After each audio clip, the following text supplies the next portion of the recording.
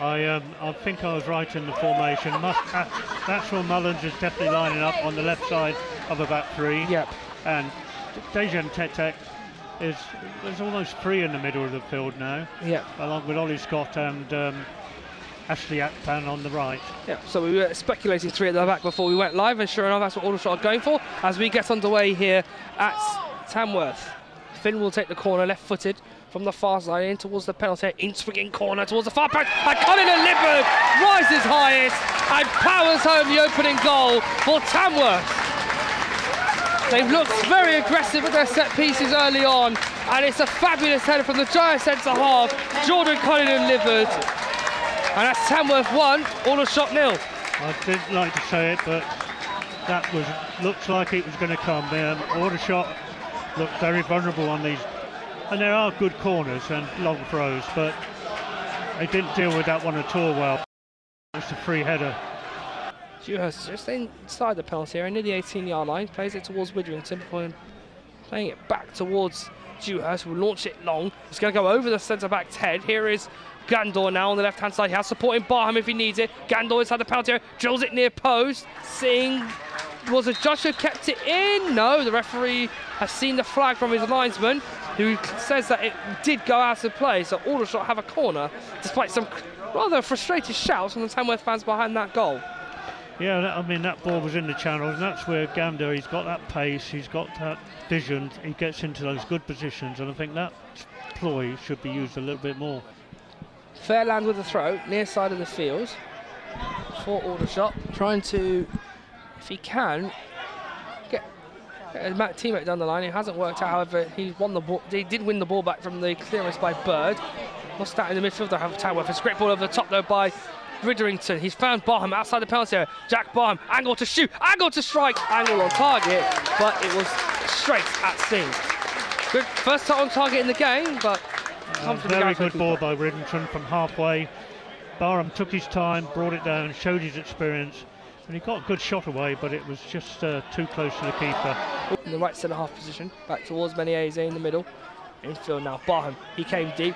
Good tackle there by the number 17 Willits. However, we gain possession now by the shots.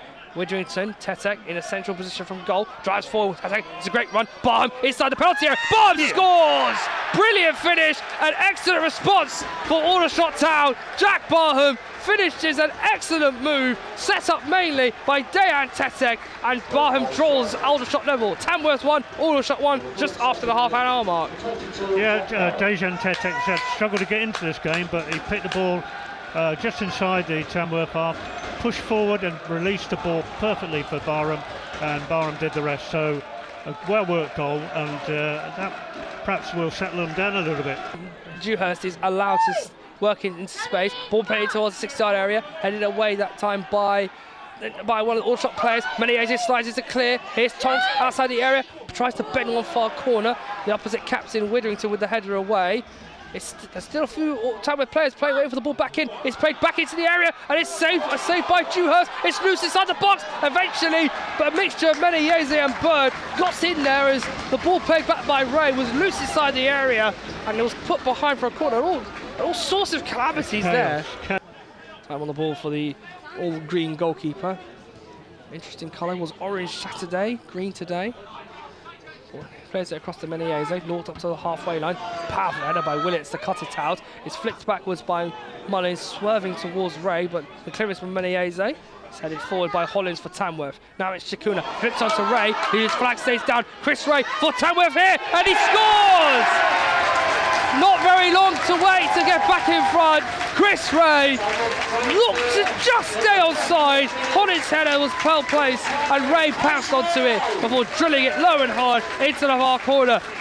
Coming up two minutes into the second half, it's Tamworth 2, Aldershot 1. Akpan again. Got to feel that Tetek needs to get on the ball a lot more if it's going to help All Aldershot find a way back in the game, but they've lost possession here. Here's Tshikuna again with Wreh bursting forward. Tshikuna, Wreh runs away from it. Tshikuna! Oh, yes! You have to say that is a sterling strike from Nathan Tshikuna. He finds the top corner from about 20 yards out. An excellent curler over the head of Mark of Dewhurst. And Tamworth doubled the advantage. It's now 3-1 just before just before the 55th minute. An excellent goal there, Alan.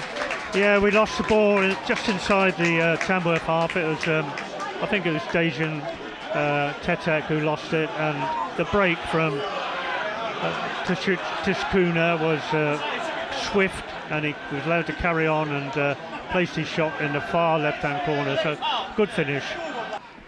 Tamworth pressing intently every time they get the ball midway inside the Aldershot half. It's forced an error by Lachlan Bird again. Here's Finn, space for Wreh. Here's Finn, score here, we might be it. Here's Tshikuna. Tshikuna inside the box, composed himself, saved by Dewhurst. It's still inside the area, and eventually Aldershot avert the danger. Well and truly could have been wrapped up there. Fortunately, it was a good block by an Aldershot defender, but that could easily have been four. Ball thrown back towards Jones. Here is Hargreaves, too far away for a shooting opportunity. Akpan's got his arms out wanting the wide ball, but Bird will support him in receiving it. Here is James Henry again, lurking outside the penalty area. Akpan. Tamworth now just defending their area, but they've got a long time to do it. Ten men behind the ball. Yeah, yeah. ten, boss, ten behind the ball. Ball into the box by Jones. Far post English Akpan, and his header just over the bar. He got an assist on Saturday. That time would have been it would have been a great time to get a goal, but couldn't direct the header goalwards. Yeah, it's a, a, cross deep to the far post. Akpan was coming in at pace and uh, he just couldn't keep it down, but um, it was a good move. It's a chance for Akpan to cut infield. They have to get something going here, Aldershot, in, in the stoppage time period. We six minutes and a 17 added on. Plus, that's the minimum, remember, remember, remember, there's still a couple of changes that Tamworth made in this stoppage time period. Hargreaves into the space now for Corbett. Corbett to Henry. Henry, Corbett, inside penalty. Kai Corbett! Oh, he's blazed it over. A glorious opportunity opened up for Kai Corbett to break his duck for the season, but he spooned it over the bar.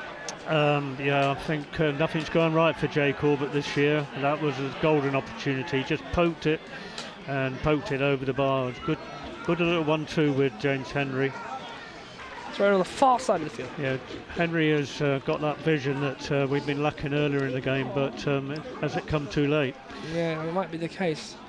I had to protect him because he played what best part of 75 minutes on Saturday. Obviously, a quick turnaround. You can't get someone to play two sets of nine minutes in consecutive games. Also trying to create something here in the final few moments. Tamworth, some Tamworth legs just a little bit labouring a little bit at the moment.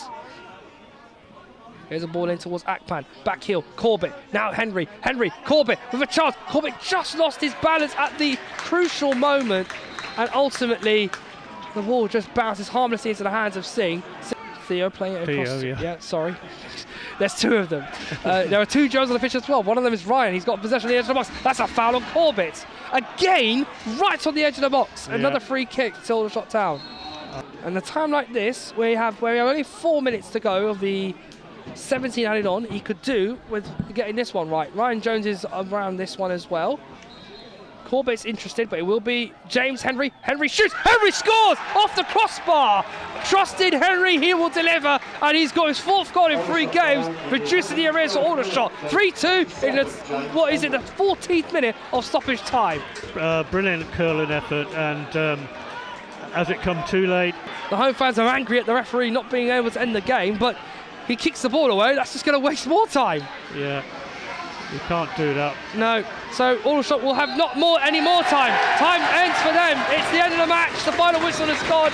Tamworth at last after five attempts, win their first game in the Vanarama National League. And what has to be said is a very feisty and gritty encounter.